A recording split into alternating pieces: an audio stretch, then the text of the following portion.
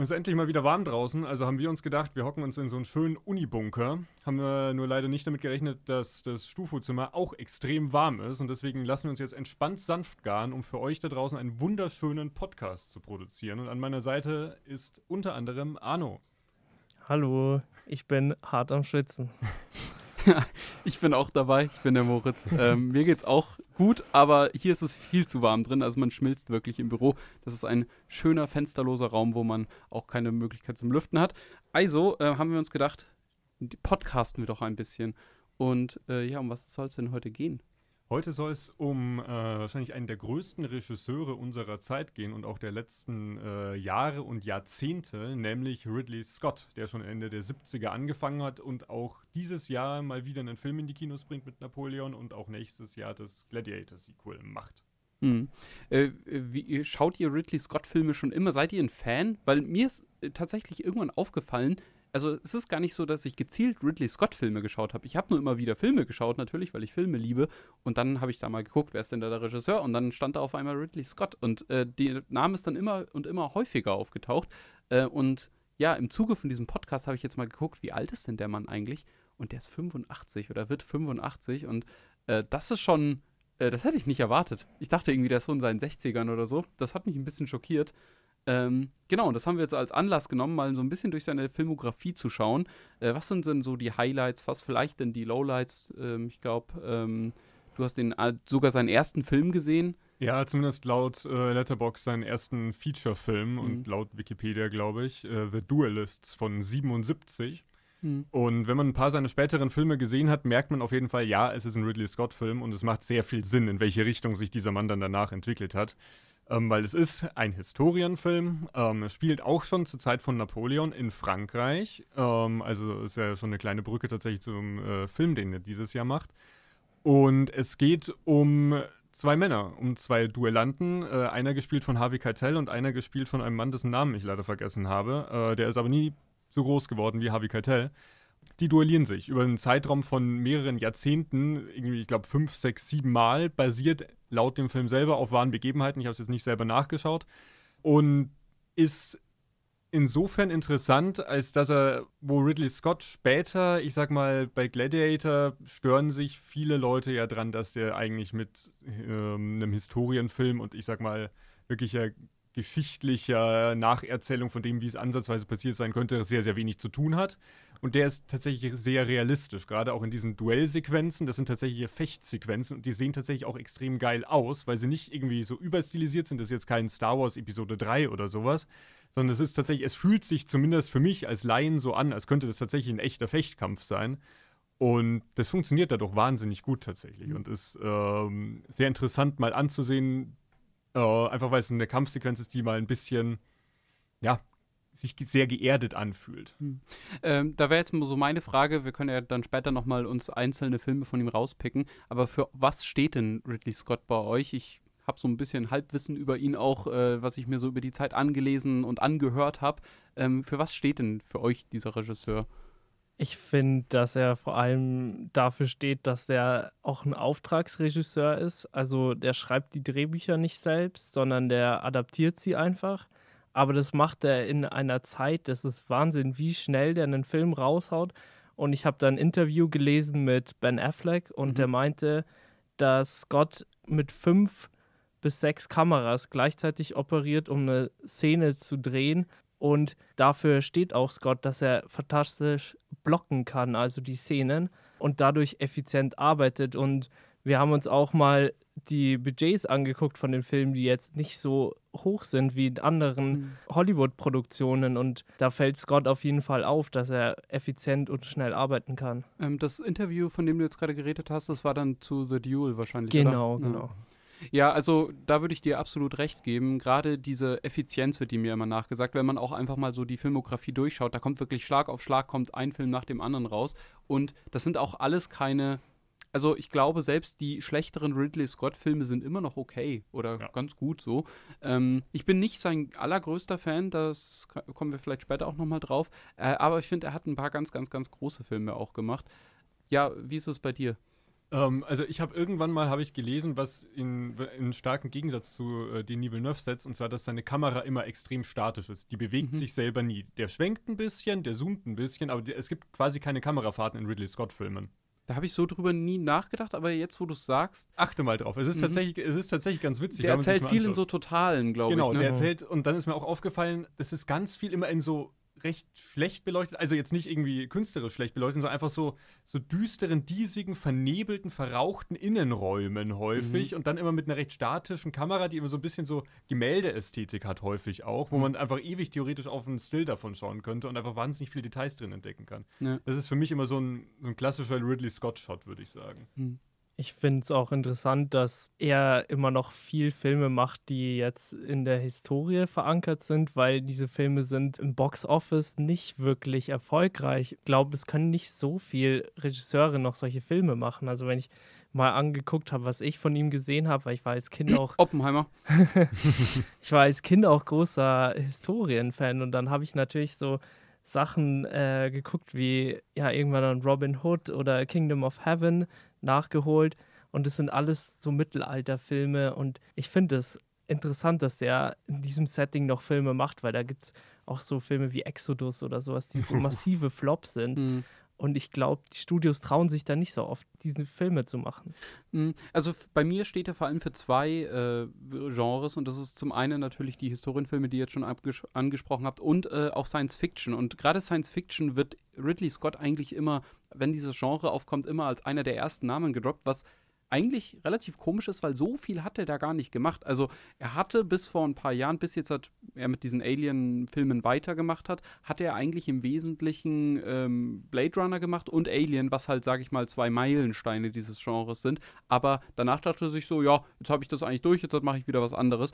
Und äh, das finde ich schon bezeichnend. Und, und das will ich auch noch anschließen, für mich steht Ridley Scott immer für sehr authentische Bilder und vor allem der Mann versteht es einfach, äh, CGI-Shots und Practical Effects wirklich, wirklich, wirklich gut zu vermischen. Und das, also Ridley Scott-Filme sehen immer toll aus. Also ich bin kein, kommen wir vielleicht nachher nochmal drauf, wenn es um Alien geht, ich bin nicht der größte Fan von Prometheus und auch Alien Covenant, aber das sind fantastisch aussehende Filme, da kann man wirklich gar nichts sagen. Dafür steht Ridley Scott auch wirklich. Vor allem, weil er das dann halt trotzdem zu einem Budget produziert, das sich halt wirklich im Rahmen hält. Gut, ich weiß nicht, mag jemand vielleicht mal von euch anfangen und seinen Lieblings-Ridley Scott-Film vorstellen?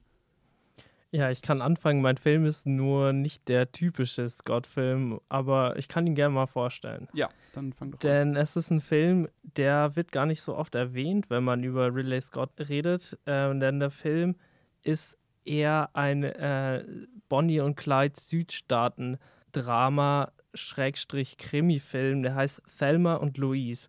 Und hier wird so diese Grundformel ein bisschen verändert. Es geht darum, dass zwei Frauen beschließen, für einen Abend ja mal wegzugehen, ein bisschen die Stadt zu verlassen. Und die eine Frau wird dabei von einem Mann vergewaltigt. Die andere greift zur Waffe und erschießt ihn. Und dabei kommt es halt zu Missverständnissen, wodurch die beiden sich ja irgendwie inkriminieren und deswegen müssen sie durch die Südstaaten fliehen. Ja, es ist so eine Story, wo diese Thematik von männlicher Gewalt, männlicher Übergriffigkeit und auch die Rolle der Frau in dieser amerikanischen Gesellschaft der 90er hinterfragt wird. Und ich finde, dieser Film ist sehr interessant, weil das A, das Drehbuch auch von einer Frau ist und es B, in einer Zeit kam, wo auch viel über diese Wirkung von Gewalt in Medien geredet wurde. Da kam in der Zeit auch Natural Born Killers raus, von, von dem äh, Tarantino das Drehbuch geschrieben hat oder True Romance. Und dieser Film ist sehr ähnlich, würde ich sagen. Er hat auf jeden Fall sehr interessante Bilder, sehr weitläufige Bilder und nutzt diese Südstaaten, dieses Südstaaten-Flair auch aus, wie zum Beispiel auch ein Terence Malick das macht ich finde, deswegen ist dieser Film auch so ein bisschen außerhalb seiner Reihe, weil der sehr, sehr bräunlich ist in, in, in dieser Farbgebung und auch doch noch ein, auch ein witziger Film ist. Brad Pitt spielt dann den Kiffer. Das war eine seiner ersten Rollen. Und deswegen ja, kann ich diesen Film nur empfehlen. Ich habe ihn noch nicht gesehen tatsächlich. Er ist, er ist schon länger auf meine Watchlist. Das ist so eine, da habe ich jetzt keine hohe Priorität drauf. Äh, jetzt vielleicht schon. Ähm, aber wenn er mir mal vor die Schippe kommt, ist, läuft der gerade irgendwo? Ich habe den mal auf Prime gesehen. Da war okay. mal auf Prime. Ich weiß nicht, ob der noch drauf ist. Okay. Hm. Ich habe ihn leider auch nicht gesehen, aber das gilt, also das ist ein Film, der in ganz vielen Filmpodcasts, die ich sonst so höre, immer wieder gedroppt wird. Also mir hat der Titel total was gesagt. Mit der Story konnte ich jetzt bisher noch gar nichts anfangen. Also ich habe den, wie gesagt, nicht gesehen. Ähm, der steht aber bei mir auch noch auf der Watchlist jetzt schon länger. Genau, also muss ich auf jeden Fall mal nachholen. Aber ist ja, würde ich sagen, eher einer untypischen Filme für Ridley Scott. Ja, würde ich auch sagen was sich nur so auch ein bisschen so durch seine Filmografie zieht, ist so dieses Thema auch männliche Übergriffigkeit mhm. und auch schon Frauen, die mit Traumata umgehen müssen. Und ich finde es interessant, dass er das als so ein größerer männlicher Regisseur aufgreift, dieses Thema. Und in diesem Film ist das, glaube ich, am präsentesten das wollte ich auch, da wollte ich später nochmal drauf zu sprechen kommen, wenn es um Alien geht gerade. Also Ridley Scott ist schon jemand, der immer wieder eine sehr starke Frauenfigur in seinen Filmen zeichnet. Ähm, also das zieht sich dann ja auch durch die anschließenden Teile, also die Hauptfiguren Prometheus und auch in äh, Alien Covenant sind ja auch jeweils weiblich. Und also das ist auf jeden Fall, was sich durch seine Filmografie zieht. Wenn man jetzt dann so, naja, vielleicht zu The Martian oder äh, auch Black Hawk Down schaut, dann eher weniger. Aber ähm, trotzdem interessant, dass Lee Scott damit schon so früh angefangen hat, bevor das eigentlich ein Thema war, auf das Hollywood so krass gepocht hat. Das ist ja mittlerweile, schaut das ja ein bisschen anders aus. Ja, mhm. wenn wir dann eh schon bei Alien sind, dann kannst du auch gerne noch. Soll ich was zu Alien sagen? Ja, sehr gerne. Gut. Ähm, ich bin gar nicht der riesigste Alien-Fan tatsächlich. Also ich mag den ersten Alien also natürlich sehr gerne. Das ist ein absoluter Klassiker. Ich finde, der sieht fantastisch aus. Ich mag äh, Science Fiction, ich mag Horror. Das ist perfekt, äh, praktisch die perfekte Kombination dieser beiden Genres. Für mich ist es aber vor allem ein Film, den ich total liebe, weil er eben diese praktischen Effekte noch hat. Und ich habe die letzten Wochen und Monate da ein bisschen dazu genutzt, äh, die ganze Alien-Reihe durchzuschauen, also auch die übrigen Filme und auch ähm, Alien vs. Predator und danach auch noch Predator. Ähm, ich bin bei diesem ganzen Franchise, wenn man das jetzt mal so zusammennehmen will, ein bisschen zwiegespalten, weil ich finde, es gibt eigentlich nur sehr wenige wirklich gute Filme ähm, in diesem Franchise. Ähm, dazu würde ich jetzt Alien und Alien 2 zählen. Aber gerade das Creature Design von Alien 1 ist halt sowas Besonderes und was, was man noch nie gesehen hat. Und auch ähm, Ellen Ripley als, äh, als Protagonistin ist was ganz Neues gewesen damals. Und ich glaube, sie hat für mich so ein bisschen den, den ähm, ja, wie sagt man, den Platz eingenommen, der für viele äh, Sarah Connor aus Terminator ist, weil Terminator hat mich nie so mitgerissen. Da war ich dann immer eher bei Alien. Ich weiß nicht, habt ihr Alien im Kino sogar vielleicht gesehen oder also der wurde ja immer mal wieder neu aufgeführt. Da war ähm, ich noch zu jung. Ah, okay. Ja, der kam tatsächlich in der Corona-Pause ähm, kam er, also da hatten die Kinos ja noch mal kurz auf und da kam ganz viel ähm, altes Zeug noch mal. Und da kam unter anderem auch Alien und ich habe ihn da leider verpasst. Aber ich mag Alien. Ich bin, ich bin vor allem vom ersten Teil, würde ich sagen, schon noch ein Fan. Ich finde es ein bisschen schade, wohin sich das Franchise entwickelt hat. Wie ist es denn bei euch? Ich muss sagen, ich mag den ersten, ich finde den zweiten noch mal besser. Weil, mhm. ähm, ich rede jetzt nur ganz kurz drüber, weil wir eigentlich über Ridley Scott reden, mhm. aber was James Cameron da abfackelt, klar, es ist an sich das klassische Sequel mit höher, schneller, weiter. Aber er macht es einfach, James Cameron üblich, einfach so gut. Und mhm. ähm, ich hab's, ich bin tatsächlich drauf gekommen, den zu schauen, weil klar, Aliens hatte ich schon länger auf meiner Watchlist, den ersten hatte ich schon vor längerer Zeit mal gesehen, weil äh, Chris McQuarrie, also der ähm, Mission Impossible Tom Cruise Regisseur, hat auf Twitter gepostet mal, äh, wurde, er wurde gefragt, ich glaube, was war die Frage, irgendwie Filme mit gutem Production Design.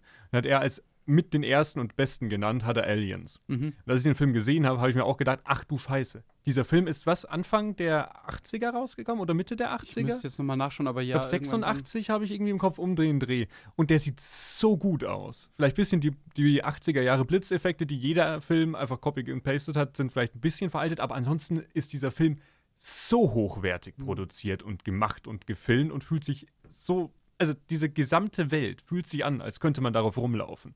Und dann fahren die da mit irgendeinem Gefährt durch, irgendeine, durch irgendein Dorf auf irgendeinem fremden Planeten und es sieht einfach so geil aus. Mhm. Ja, der ist, kam 86 raus, ja. ich habe übrigens gerade geschaut. Cool. Ähm, ja, was ist, deine, was ist deine Verbindung zum Alien-Franchise? Also Hast du überhaupt eine? Ja, ja, auf jeden Fall. Also wir haben mal den ersten Alien-Film auf einer Leinwand in einem Wohnzimmer geguckt mhm. und es war sehr toll, weil ich habe, glaube ich, bei sonst nur 2001 dem Film das Gefühl von diesem beklemmenden Weltall, das einen komplett verschluckt und man einfach diesen stillen, leisen Tod stirbt. Und dieses Gefühl, das Alien 1 hatte, fand ich fantastisch, vor allem für so einen Film, der von 1979 ist.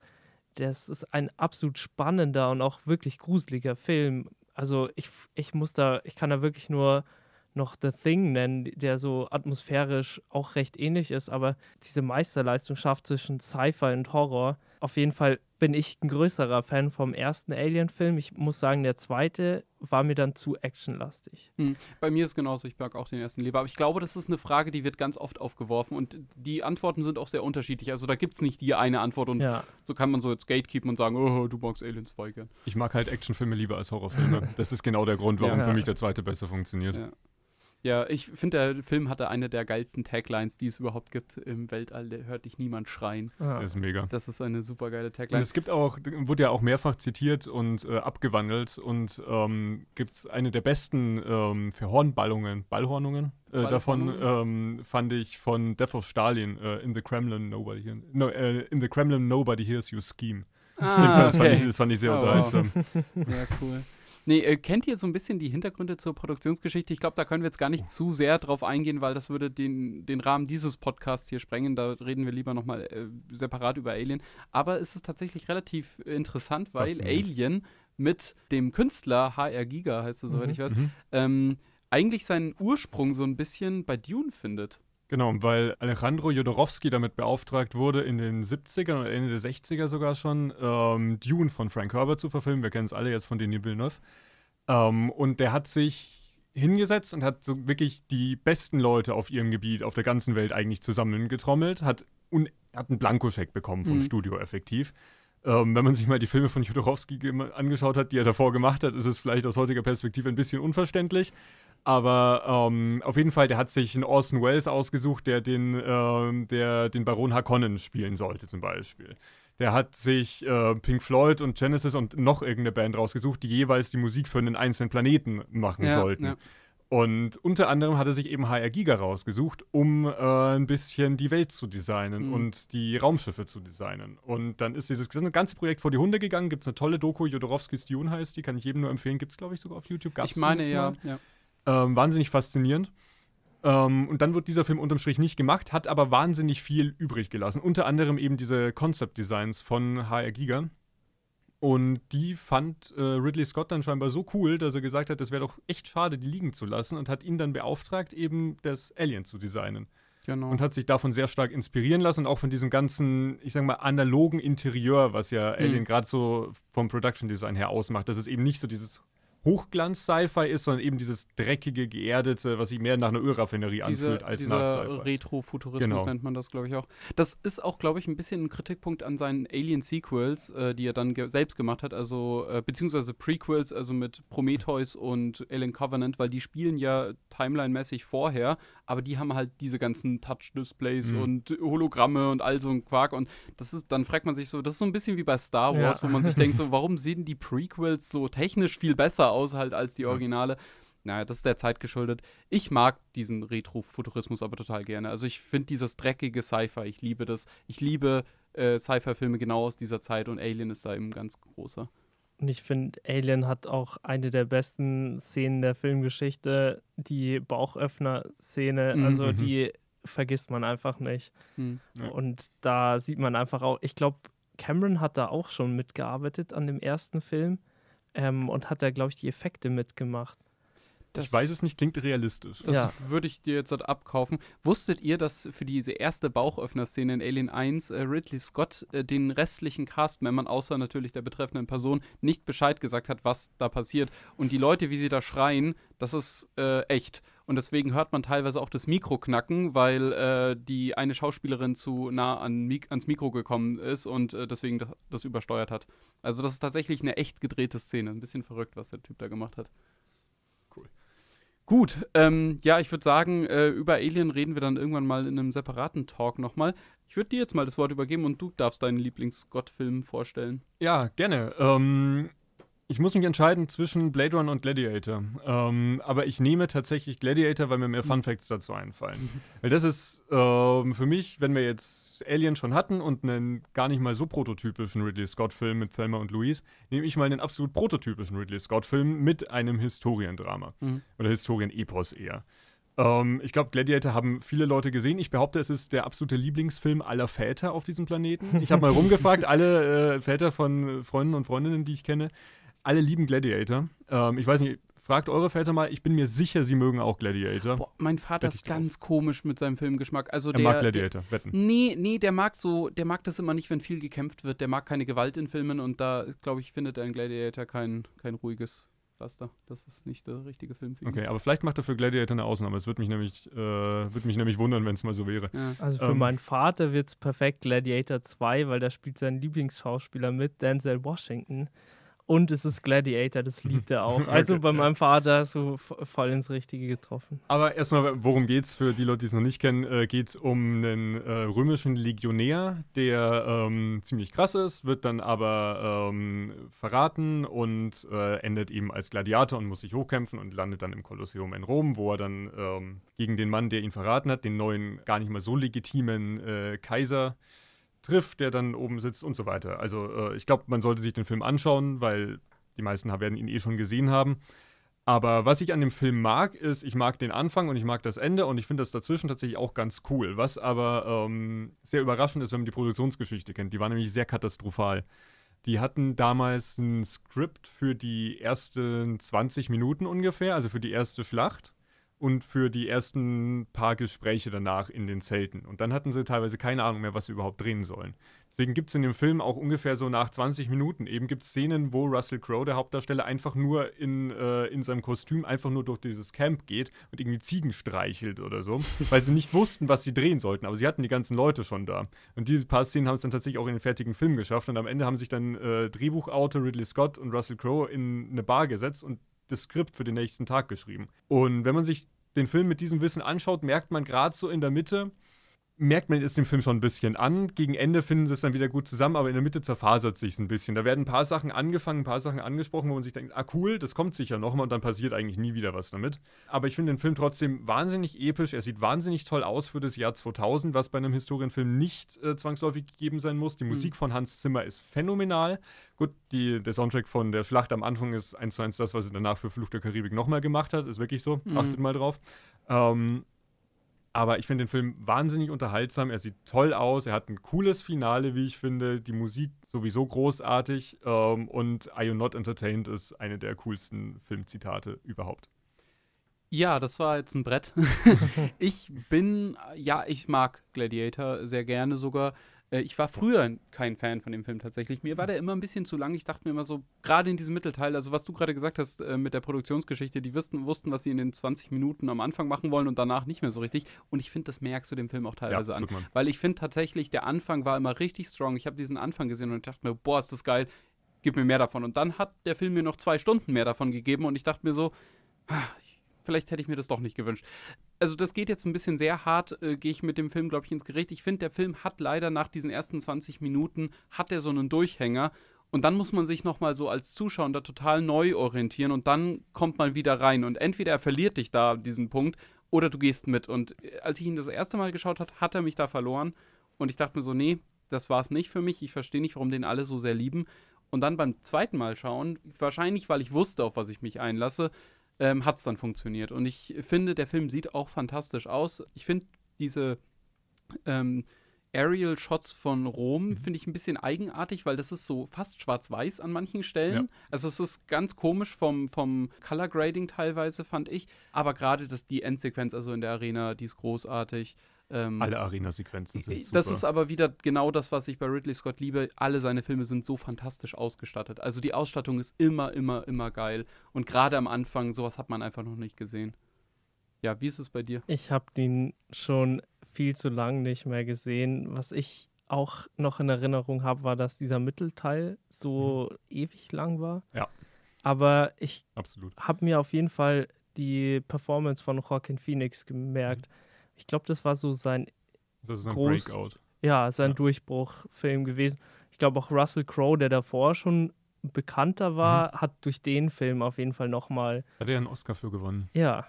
ja. Und, und Scott war auch nominiert für beste Regie oder bester Film. ja. Hat aber nicht gewonnen. Aber ja, da kam Herr der Ringe raus. Ja, gut. aber ja, ich, ich würde den auch gerne nochmal angucken. Vor allem jetzt, wenn nächstes Jahr der zweite Teil kommt, dann will ich den schon nochmal gucken. Das ist auf jeden Fall ein guter Grund, sich den dann nochmal zuzuführen. Tipp von mir, ich habe die Blu-ray und da gibt es einen Extended Cut drauf. Da sind 10, 15 Minuten mehr mhm. drin. Die mochten Hans Zimmer und Ridley Scott und, ähm, und Russell Crowe mochten die sehr, sehr gerne. Und äh, beim Testpublikum sind die überhaupt nicht angekommen. Und mhm. ich habe den Extended Cut geschaut und die Szenen sind da. Ich habe sie mittlerweile alle wieder vergessen und ich werde den Film nie wieder im Extended Cut schauen. Also das sind 15 Minuten, die der Film noch mal länger ist, ja. die er sich noch mal zieht, die es echt nicht braucht, leider. Ich finde aber gerade bei dem Film, wenn man jetzt den Vergleich, äh, das ist jetzt ein bisschen weit hergeholt, äh, zu Oppenheimer zum Beispiel zieht, was ja auch ein Historiendrama irgendwie ist.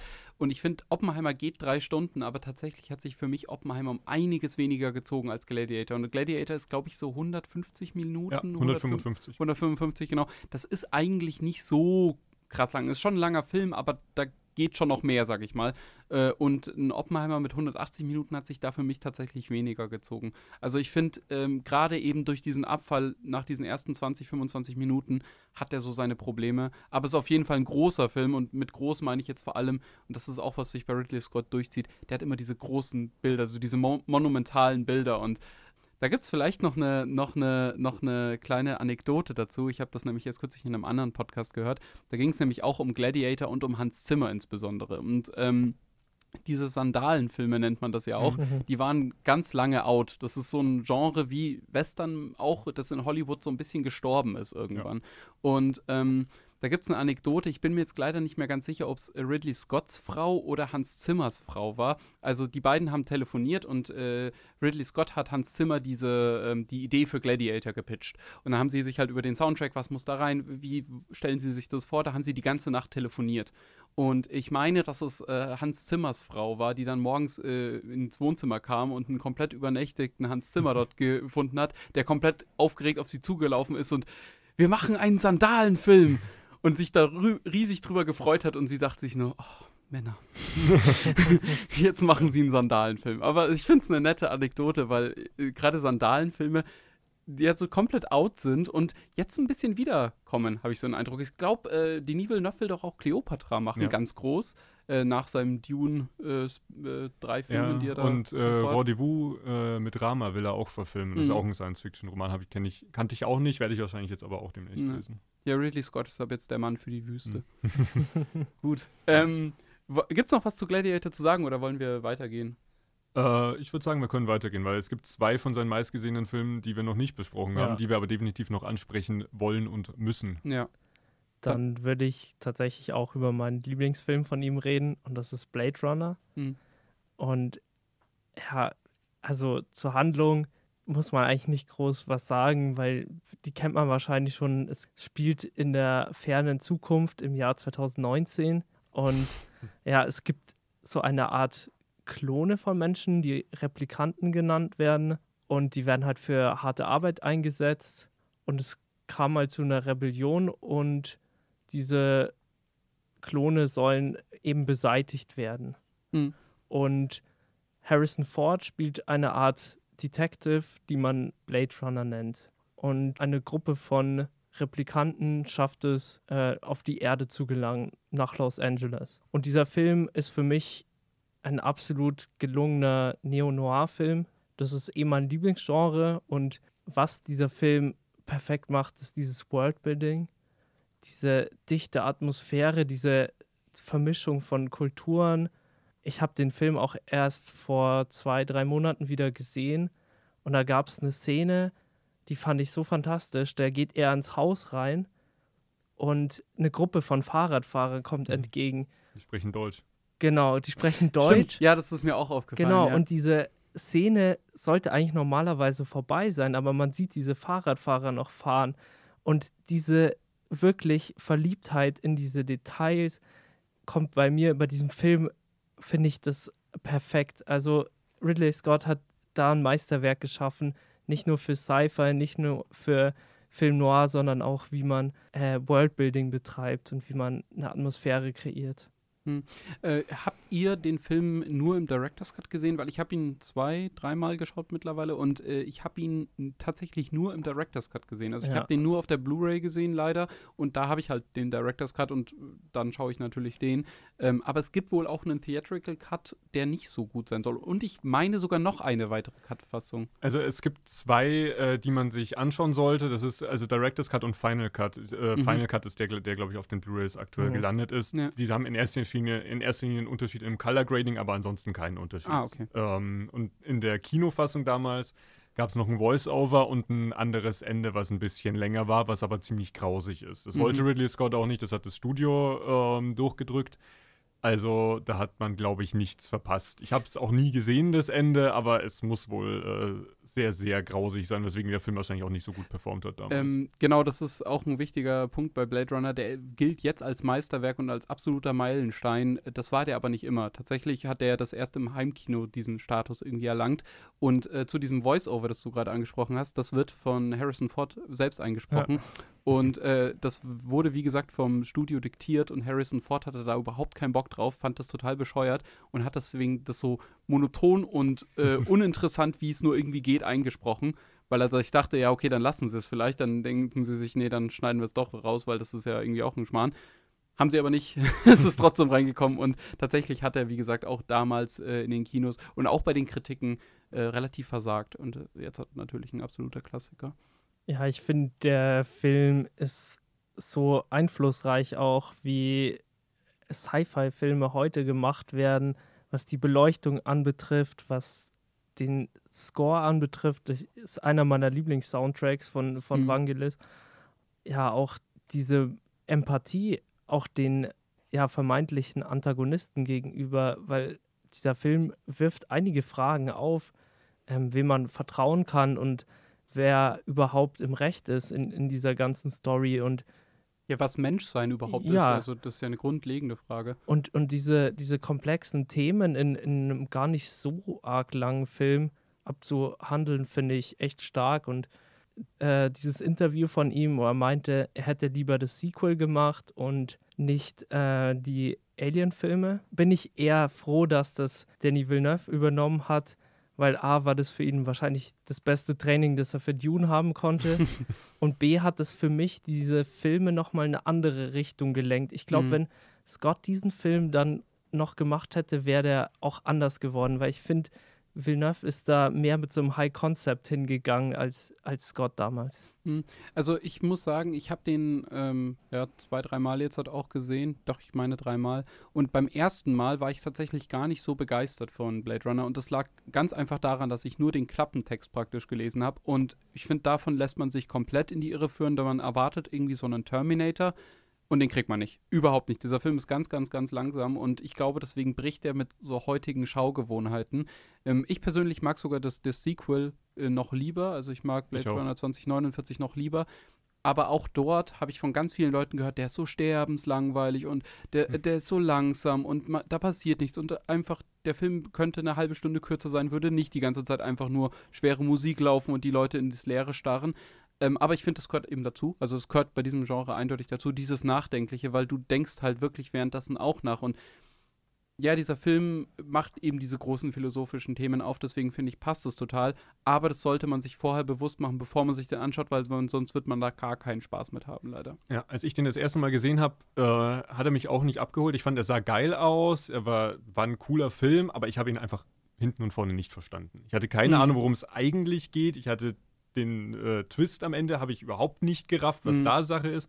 Da habe ich mich ein bisschen eingelesen, den Film noch zwei, dreimal geschaut und mittlerweile finde ich ihn auch phänomenal. Ja. Obwohl ich das Sequel tatsächlich nochmal lieber mag. Ja, ich bin beim ersten Blade Runner eine ganz weirde Figur und ich meine auch, also hätte, das, ist, das reißt mich immer so ein bisschen raus, ist dieser Puppenmacher. Hm. Der kommt mhm. ja dann irgendwann vor. Und diese ganzen Szenen in diesem Haus, die reißen mich irgendwie immer so komplett aus dieser Sci-Fi-Welt raus, die da draußen halt so existiert. Ganz komisch, aber also ich bin mir immer nicht ganz sicher, ob ich es mag oder ob ich es nicht mag. Ob ich mir das anders wünschen würde oder ob ich das gut finde, so wie es gelaufen ist.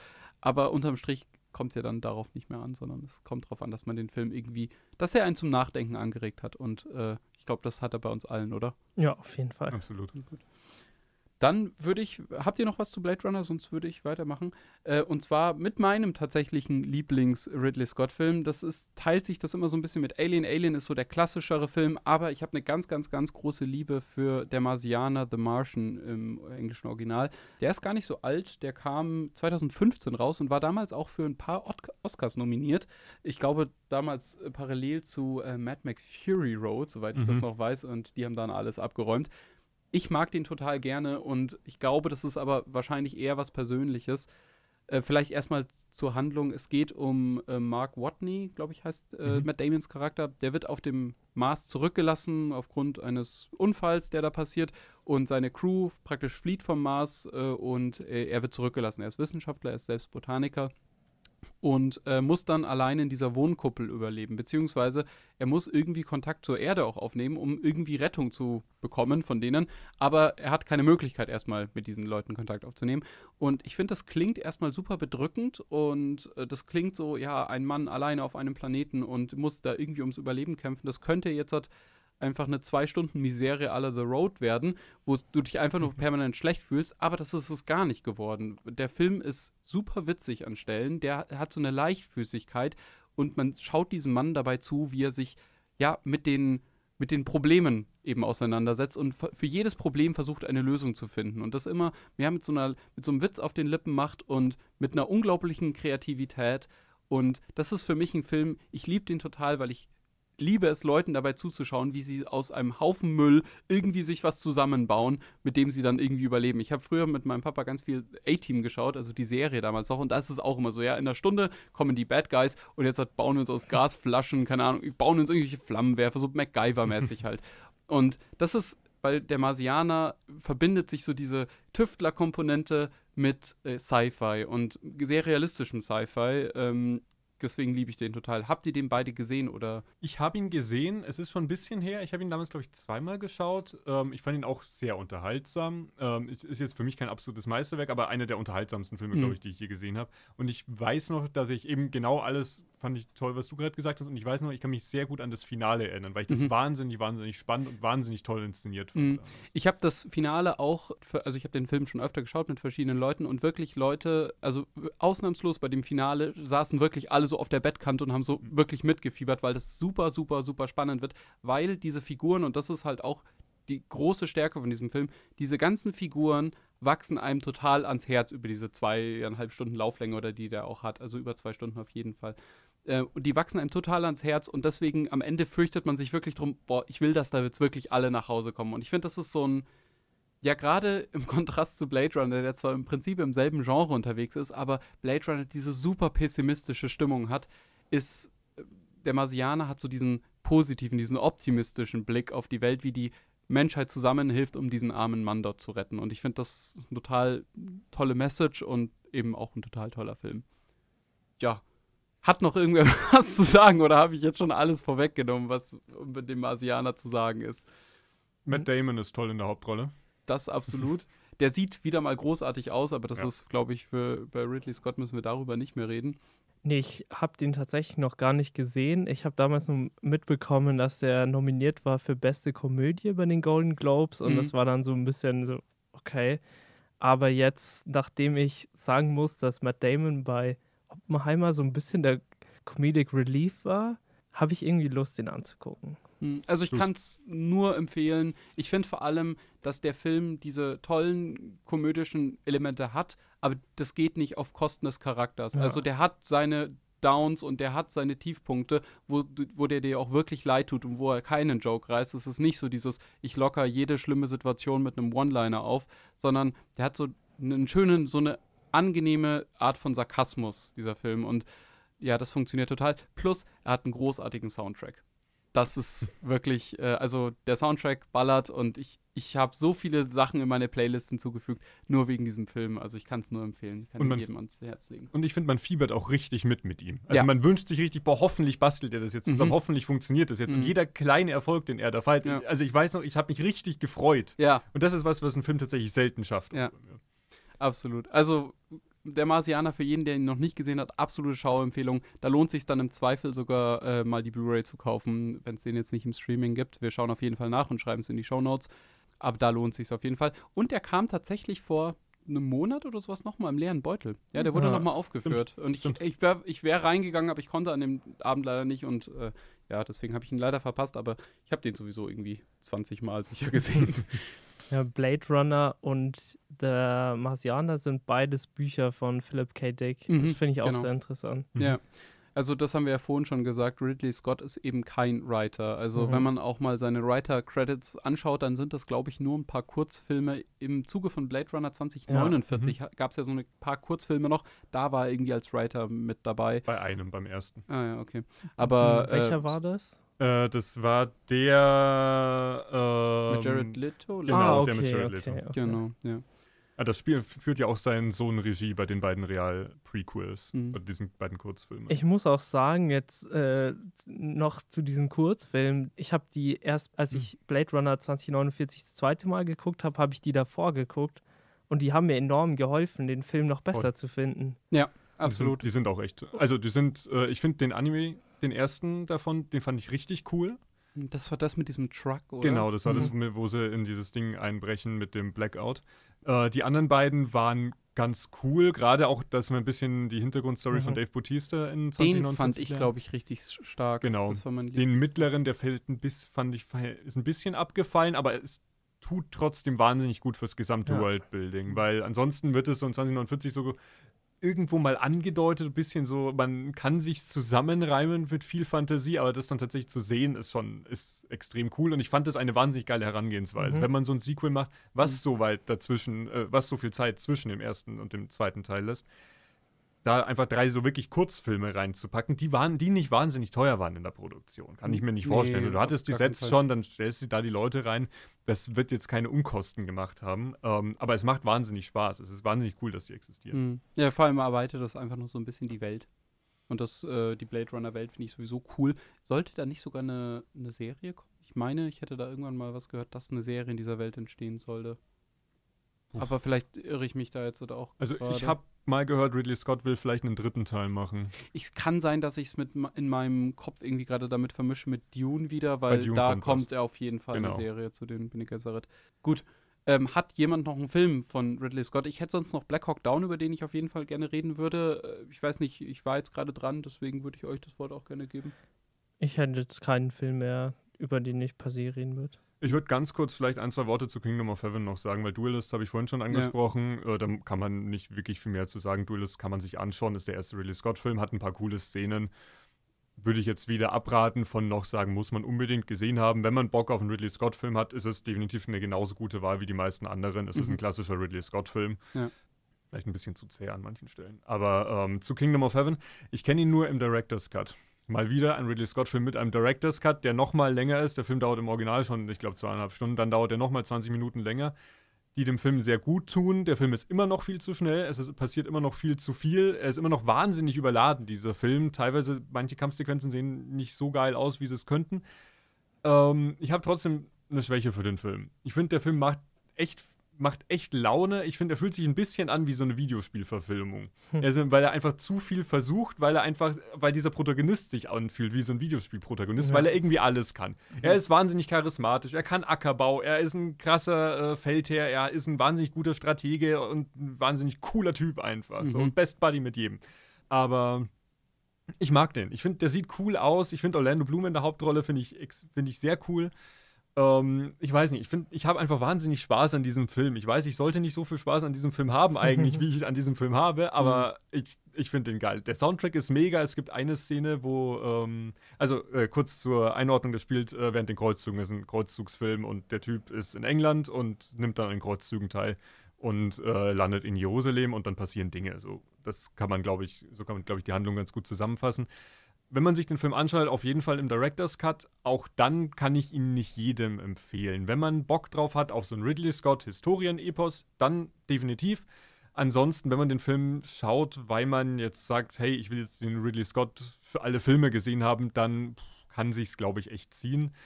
Ähm, aber es gibt gerade zum Beispiel, es gibt ein paar einfach wahnsinnig geile Szenen. Es gibt eine Szene, wo so dieses gesamte Heer, dieses gesamte Kreuzfahrerheer äh, so in der Ferne, in der Wüste, mit so flimmernder Luft, mit so einem gigantischen goldenen Kreuz aus dem Nichts auftaucht. Das sieht einfach wahnsinnig cool aus. Wenn dann der mhm. Soundtrack kickt, dann macht dieser Film einfach eine wahnsinnig geile Stimmung. Weißt du, ob es den irgendwo zu schauen gibt? Zumindest nichts, was ich habe. Also weder auf Prime noch auf Netflix. Ja, muss mal schauen. Würde ich auch den, wie gesagt, Blu-ray empfehlen für den Director's Könnte sogar auf Disney Plus sein. Ich glaube, dass ich da mal das Thumbnail gesehen habe. Könnte aber sein, wenn es ein nur 20th Century Fox-Film ja, ist. Weil, dann ja, ja, der, da kamen ja, einige Filme von ihm. Ja. Nee, ähm, ich habe gerade mal den Composer gegoogelt, weil ich dachte mhm. mir, ja, irgendwie, das ist auch was, was bei Ridley Scott immer wiederkehrend ist. Also er hat immer tolle Musik in seinen Filmen. Ja. Und das ist äh, Harry Gregson Williams. Ich kannte den nicht vorher, aber der hat unter anderem auch der Marsianer gemacht mhm. und äh, die ersten beiden Trackteile. Und die ersten beiden Trackteile sind auch für einen grandiosen Score und grandiose Musik, finde ich, bekannt. Also ich bin ein totaler Shrek-Fan, äh, die eben auch aus seiner Feder stammen. Und sogar den dritten Shrek sehe ich gerade. Ja. Und den vierten auch. Oh, wow. Okay. naja, also ähm, auf jeden Fall guter, guter Komponist. Ich weiß nicht, gibt es da noch zu noch was zu sagen? Sonst äh, nee, ich, ich, will, ich will gar nicht so lange drüber reden. Ich wollte ihn nur erwähnen, weil, ja. weil mich sonst mein Mitbewohner, der Geschichte studiert, verprügeln würde, glaube ich. Genau, dann Oder nicht mehr füttern würde. Komme ich im selben so gleich schnell, sage ich mal, zu äh, Black Hawk Down noch. Das ist ein Film, den ich früher total toll fand, beziehungsweise den ich äh, ja so eindrucksvoll fand. Ich muss aber mittlerweile sagen, dass es schon ein bisschen amerikanischer Propagandafilm ist. Ähm, ganz kurz zur Handlung vielleicht. Ähm, es spielt äh, 1993. Äh, das US-Militär und die UN intervenieren in Somalia äh, insbesondere Mogadischu, also die Hauptstadt. Und ähm, es geht um einen Raid, den sie geplant haben, den sie dann auch durchführen, indem sie äh, ein Warlord-Ding festmachen wollen. Und das geht natürlich schief. Daher kommt auch der Name. Der Blackhawk ist ein äh, US-amerikanischer Militärhubschrauber und äh, ja, von denen werden einige abgeschossen und äh, ja, das läuft alles nicht so wie geplant. Das ist ein Film, der wieder fantastisch aussieht. Also gerade es gibt diese Szenen, wo dann eine, wie so ein Apocalypse Now mit ganz vielen Helikoptern und ja, die Szenen sind, also die, die Bilder sind groß und das sieht alles toll aus. Es wird aber leider nur so diese amerikanische Sicht beleuchtet und leider gar nicht ähm, das Leben der dortigen ja, Bevölkerung. Die werden dann eher so als, ja, sag ich mal, Opfer dieses Konflikts dargestellt. Aber ja, ich finde das so ein bisschen undifferenziert. Ich, der Film ist wieder toll besetzt, der klingt wieder toll. Hans Zimmer hat die Musik gemacht. Ja, also es ist auf jeden Fall, wenn man Kriegs-Antikriegsfilme mag, dann sollte man Black Hawk Down, glaube ich, gesehen haben. Es ist auf jeden Fall interessant und soweit ich weiß, auch relativ nah an den, der, den tatsächlichen Begebenheiten. Also es basiert ja auf einer wahren Begebenheit, auch diese Mission. Und äh, wenn man sich dafür interessiert, dann würde ich es auf jeden Fall empfehlen. Sonst, falls man aber ein Problem damit hat, wenn sich Amerika mal wieder als Held darstellt äh, und die Welt, während sie Weltpolizei spielen, dann spart man den vielleicht besser aus. Genau, das ist so viel dazu. Ich weiß nicht, ich glaube, mehr muss ich zu Black Hawk Down gar nicht sagen. Josh Hartnett spielt die Hauptrolle und den fand ich mit das Coolste an Oppenheimer. So, ja. Das noch als kleinen Fun Stimmt. Fact. Aber mehr fällt mir auch nicht an. Das, ja, ist, das ist genau der, Stimmt. den ich meinte letzte wow. Woche. Ja, ja, total vergessen. Ja, cool. Ähm, dann würde ich sagen, von meiner Seite aus wäre der Ridley Scott-Part jetzt vorbei. Ja. Äh, vielleicht können wir nochmal zusammenfassend sagen, was wir jetzt halt auch, über das wir jetzt geredet haben, was für uns Ridley Scott ausmacht. Für mich sind das wirklich diese ganz großen Bilder, immer sehr authentisch und vor allem, ja, dieses Effiziente. Dieser Mann produziert einfach mit 85 Jahren immer noch jedes Jahr einen Film. Ja. Und das ist halt wirklich krass. Und wirklich die Qualität, die dabei rumkommt, das ist kein Uwe Boll-Projekt, sondern das sind halt wirklich große, große Bilder, die sich auf jeden Fall immer lohnen, auch auf der großen Leinwand anzuschauen. Also ich bin nicht der allergrößte Ridley Scott-Fan, aber ich sag bei jedem Ridley Scott-Film, oh wow, es kommt ein Ridley Scott-Film raus, ich freue mich irgendwie drauf. Ich bin auf jeden Fall mal gespannt, wie es wird und äh, ja, das wird sich jetzt auf jeden Fall für die nächsten zwei Projekte, nämlich Napoleon, der dieses Jahr kommt, und Gladiator 2 für mich fortsetzen. Habt ihr noch was zu sagen dazu? Ja, ich bin allein schon bei dem Cast von Napoleon, freue ich mich auf den Film und nachdem ich fand, dass House of Gucci für mich schon eine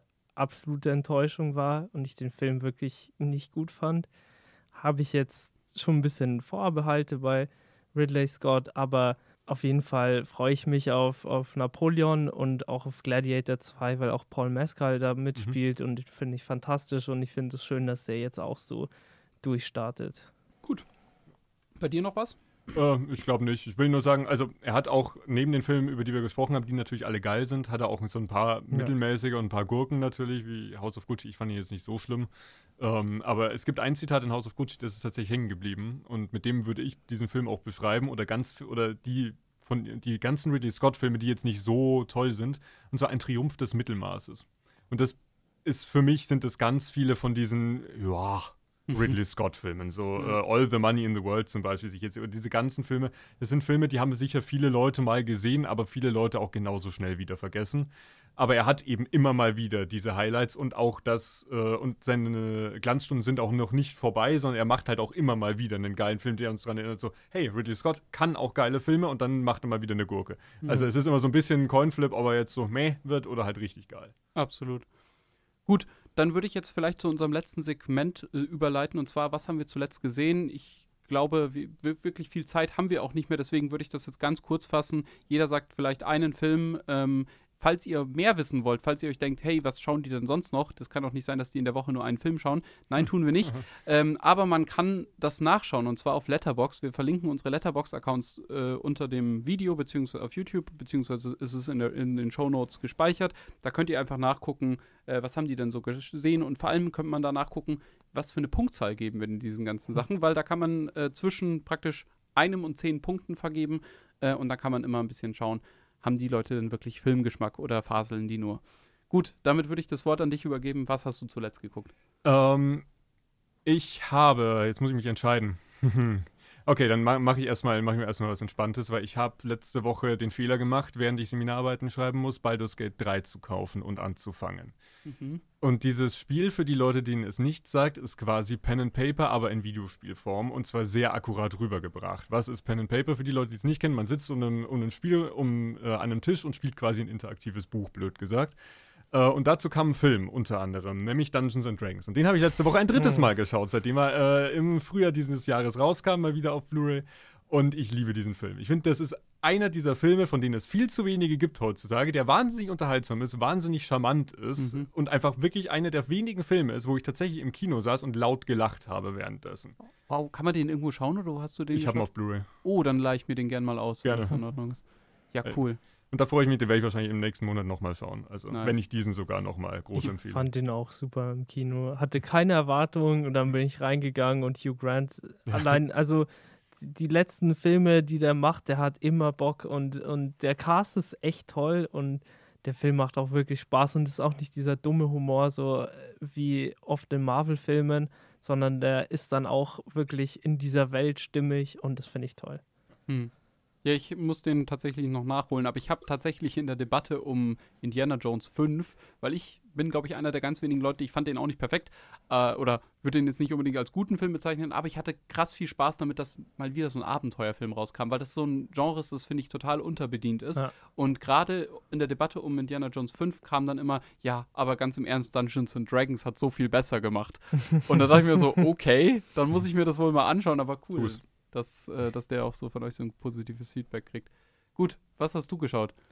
Also, nachdem ich nach Barbie ein äh, Interview gesehen habe von Letterbox mit Greta Gerwig, habe ich mir gedacht, boah, ich schaue einen Film an, den ich, den ich dieses Jahr das erste Mal gesehen habe und den ich fantastisch fand. Den wollte ich auch meiner Freundin zeigen und dann habe ich zum zweiten Mal Singing in the Rain gesehen und der ist dann direkt in meine Top 5 gerutscht weil das ist für mich einer der besten Filme aller Zeiten. Ich mag keine Musicals, aber der Film schafft es A, eine super interessante Story zu erzählen, die über das Filmemachen geht, die über den Stummfilm geht, über diesen Übergang zwischen Ton- und Stummfilm, der wirklich fantastische Tanzeinlagen hat und auch richtig schön aussieht auf Technicolor. Und das ist so ein Film, da denke ich mir, wie viel Arbeit, wie viel Zeit, wie viel Mühe ist da reingeflossen und das sieht man alles auf dem auf, auf diesem Film und er ist, er ist wirklich fantastisch und man hat auch einfach eine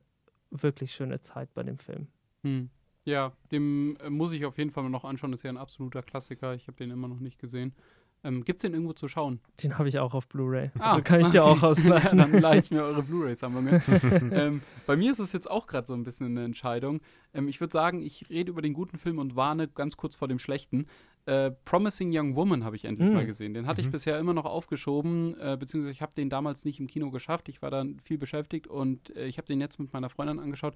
Ich fand den großartig. Also so viel kann man schon mal sagen. Es geht Ja. um eine Frau, eine junge, äh, die jedes Wochenende sagt sie, sie geht in einen Club, tut so, als wäre sie sturzbetrunken und lässt sich dann von so einem sogenannten Good Guy so nach Hause bringen. Irgendein Typ, der sich halt versucht, an, an ihr irgendwie zu vergehen und ja, stellt ihn dann zur Rede eben. Und ähm, ja, es geht um sie als Person, wie sie, ja, wie Frauen auch in unserer Welt vielleicht das Feiern eben erleben, was für viele bittere Realität ist und stellt das mal so ein bisschen auf den Kopf.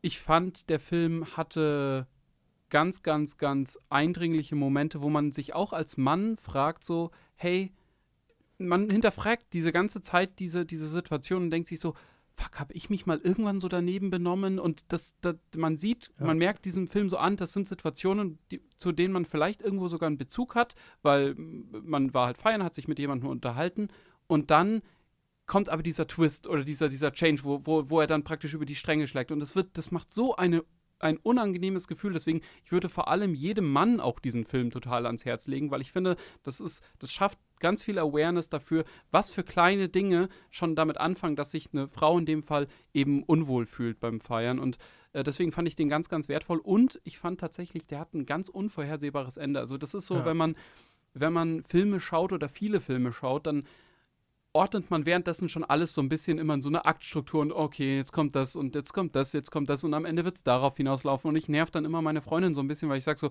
das ist jetzt passiert und am Ende wird das und das so und so aufgelöst. Und ich habe bei dem Film auch so, und ganz oft liege ich auch richtig, bei dem äh, Film habe ich auch eine Vermutung aufgestellt und ich lag absolut falsch und ich habe mich so gefreut, dass ich das getan habe. Also ähm, ich fand, er hatte ein tolles Ende äh, und er hatte eine tolle Message. Ich würde ihn jedem ans Herz legen. Ich finde das ein ganz wertvoller Film. Gut. So, habt ihr Promising Young Ja, Woman überhaupt ich- gesehen? was- Im was ich Flugzeug, auch- also sage ich nichts dazu. Ah, okay. Was ich auch richtig interessant fand, war dieser äh, auch der Umgang von Frauen mit anderen Frauen, Mhm. denen solche Sachen passiert sind, weil da gibt es wirklich eine absolut erschreckende Szene. Absolut. Ja. Und also dieser Film hat da wirklich Stellen gehabt, da was einem wirklich unwohl in der Magengrube. Und ich habe nicht gedacht, dass der Film so böse sein wird. Vor allem finde ich, und das finde ich ganz wichtig, deswegen meinte ich auch, den sollte sich vor allem wirklich jeder Mann mal anschauen.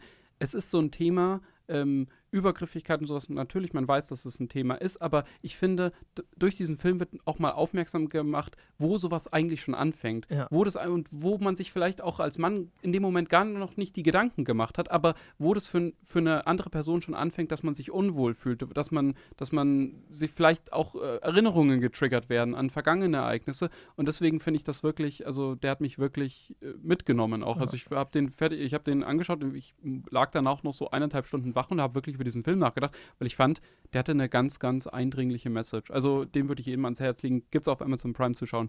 Absolute Schauempfehlung. Ähm, und jetzt muss ich noch ganz kurz warnen, weil ich war erst kürzlich in der Sneak und der Film kommt jetzt bald raus und nicht, dass Leute den Fehler machen, ins Kino zu gehen. Ich habe Kandahar gesehen. Das ist der neue Film mit Jared Butler, ähm, Mhm. ja, Mhm. wo's, wo sie in Afghanistan sind und aus irgendeinem Grund spielt Pakistan noch eine Rolle und der Iran und ähm, ja, es fühlt sich an, ja, so stellt sich Amerika den Mittleren Osten vor und das ist nicht schön. Äh, ich fand den überhaupt nicht gut. Ich finde, der hatte schlecht geschnittene Action, der hat ganz forcierte Dialoge. Es werden ein paar Themen angesprochen, die zwar eine ernstere Note haben, aber das wird dann überhaupt, dem, dem wird nicht der Raum zum Atmen gegeben. Das fühlt sich dann eher so an wie Lines, die reingeschrieben werden, dass man irgendwie sagt, man hat einen moralischen Anspruch damit erfüllt. Ich fand den ganz, ganz übel. Ähm, ja, kommt auch in der Kritik mies weg. Das ist praktisch im selben Fahrwasser wie diese ganze Olympus has fallen, London Mhm. has fallen Mhm. und so weiter und so fort. Dann würde ich noch ganz, ganz kurz was reinschmuggeln. Ähm, und zwar würde ich gerne auf eine positive Note enden. Und zwar ist auf Mubi gerade äh, Workmeister Harmonies, Werkmeisterische Harmonien. Belatar ist der Regisseur. Das ist ein ungarischer Regisseur. Der Film ist von 2000 in Schwarz-Weiß gedreht. Kann ich jedem absolut nur empfehlen. Es war Mhm. letzter Donnerstag. Ähm, Kumpel und ich haben Filmabend gemacht. Er hat sich Kung Fu Panda ausgesucht. Ich habe einen ungarischen Film in Schwarz-Weiß ausgesucht, der insgesamt auf die zweieinhalb Stunden Laufzeit fast äh, 39 Schnitte nur hat.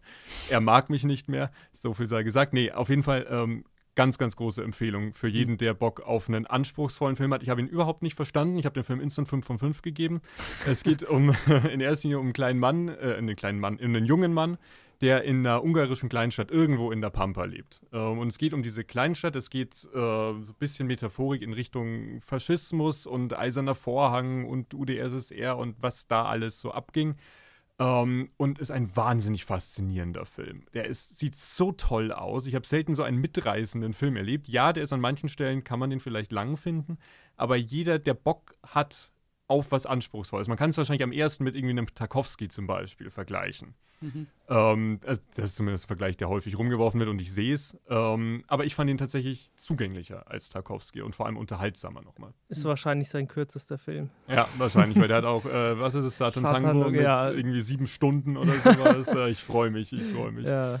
Da muss man eigentlich so eine, so eine Badge kriegen, ich habe Satan Tango ja, geschaut. Und dann auch so eine goldene, wenn man es auf Stück getan hat.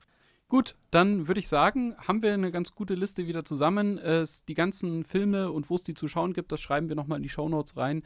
Und in jedem Fall geht ins Kino, geht meinetwegen auch in Kandahar, wenn es sein muss, aber Hauptsache geht ins Kino. Ja. Ähm, aber ich glaube zurzeit, dann schaut euch lieber noch ein zweites Mal oder ein drittes Mal oder ein viertes Mal Oppenheimer oder Barbie an, äh, bevor ihr. Oder Talk Kandahar. to Me. Oder den, ja. Oder, oder Mission Impossible. Oder den sogar. da, obwohl ich will, will, immer Tom Cruise kein Geld geben. Aber egal. Geht ins Kino, habt Spaß beim Filmeschauen und dann hören wir uns alle beim nächsten Mal wieder. Bis bald. Ciao. Bis dann. Ciao.